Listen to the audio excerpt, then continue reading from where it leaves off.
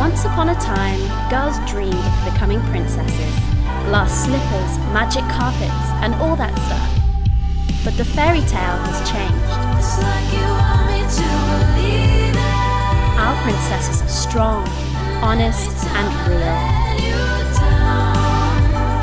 We believe every girl already is a princess. No prince needed.